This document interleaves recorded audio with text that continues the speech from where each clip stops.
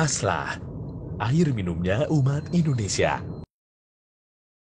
Orang yang mendoakan pemimpin dengan kebaikan, menyebut kebaikan-kebaikan pemimpin, atau mendoakan pemimpin dengan keburukan, dijadikan oleh Imam Al-Barbahari dalam kitabnya Syarhus Sunnah sebagai barometer pemisah antara ahlu sunnah dengan ahli bid'ah.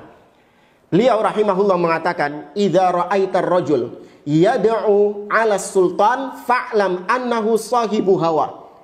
Apabila engkau melihat ada seseorang yang mencaci maki pemimpin atau mendoakan pemimpin dengan doa-doa yang buruk, ketahuilah dia pengekor hawa nafsu alias ahli bid'ah.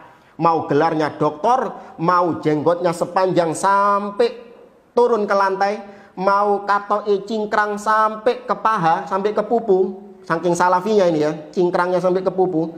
Tapi kalau dia mencaci maki pemimpin, katakan dia bukan salafi, tapi dia ahli bid'ah.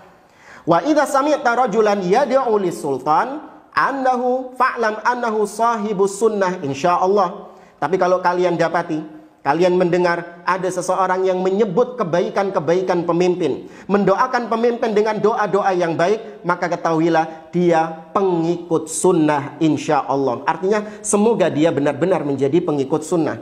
Ini barometer jamaah. Jangan dianggap ini perkara-perkara yang wise. Ya perkara-perkara yang kita bisa toleransi. Oh nggak apa-apa. Ustadz ini kan mencaci maki pemimpin. Tapi ilmunya kan banyak.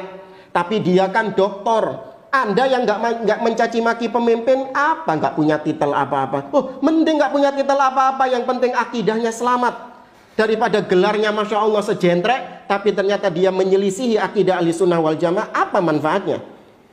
Ya, maka ini jadi barometer.